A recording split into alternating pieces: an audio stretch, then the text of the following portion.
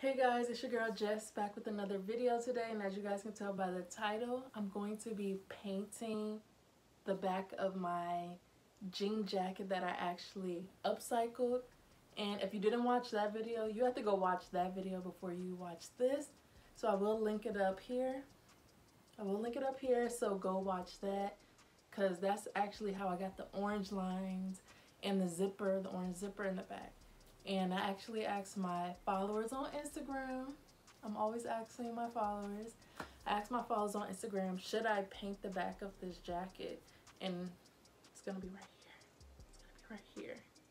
I asked them, should I paint the back of this jacket? And I can't remember the percentage, but as you guys can see, they said yes, I should. So I, well first, I didn't paint it let's just, before we get into it, I didn't paint the jacket. My husband, my hubby, my booby, he painted the jacket. Cause me, I'm not the artist. I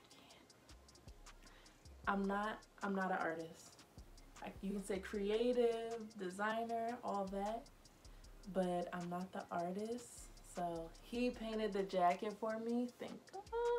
And it turned out amazing. So I know you guys are gonna love how it turned out. And if you guys do, comment below. This is fire. I love it. This is amazing. And I will link his um, social media platforms at the bottom also because he has some art if you guys want to check out his art because he's amazing. So you can go click on that.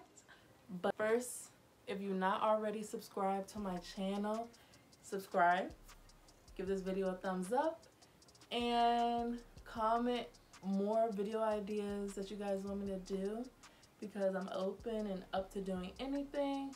So let's hop into the video.